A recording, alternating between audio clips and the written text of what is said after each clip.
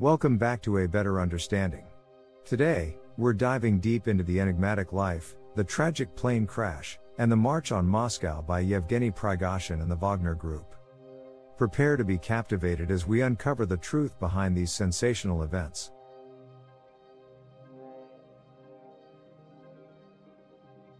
Early life. Our story begins with Yevgeny Prigozhin, a man of mystery born on June 1, 1961, in St. Petersburg, Russia.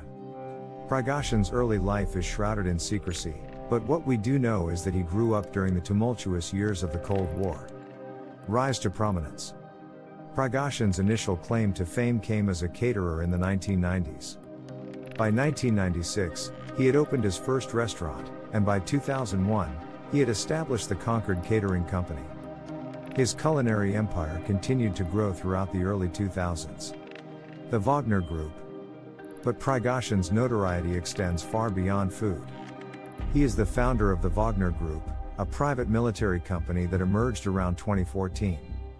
The Wagner Group has been involved in conflicts such as Ukraine and Syria. Wagner Group's March on Moscow. In 2023, stories and video came out about the Wagner Group's involvement in a mysterious march on Moscow, aiming to challenge the Russian government's authority. However, the exact reason they did not overthrow Moscow is still unclear, and even more surprising was Putin's lack of response. Plane crash incident. Now, let's shift our focus to the heart of today's story the plane crash involving Yevgeny Prigozhin and his team. On August 23, 2023, a plane carrying Prigozhin and his associates crashed during a flight from Moscow to St. Petersburg. This incident continues to be shrouded in secrecy, leaving many unanswered questions. Conspiracy theories. Conspiracy theories abound regarding the plane crash. Some speculate it was an assassination attempt due to Prigozhin's fallout with Putin, while others argue it may have been a tragic accident. The absence of clear information only deepens the intrigue and speculation. Investigation. Efforts to investigate the crash have been met with obstacles and a lack of transparency, making it incredibly challenging to separate fact from fiction. What we do know is that it's a pivotal event in Prigozhin's life that continues to raise eyebrows and generate speculation. Prigozhin's survival. Adding another layer of mystery to this already convoluted story, Yevgeny Prigozhin reportedly survived the plane crash. Some suggest that his connections to powerful figures played a significant role in his survival.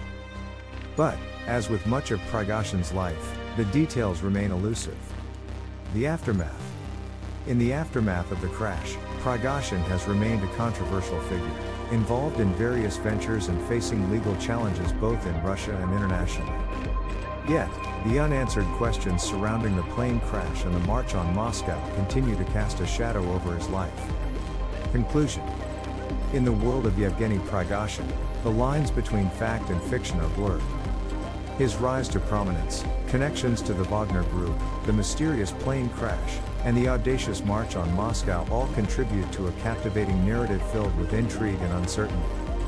As we conclude this A Better Understanding video, we can only hope that one day, the truth behind these events will emerge from the shadows.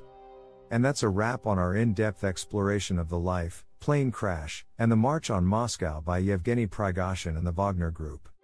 If you found this video as fascinating as we did, don't forget to like, subscribe, and hit that notification bell to stay up to date. And as always, share your thoughts, theories, and questions in the comments below. Until next time, stay curious.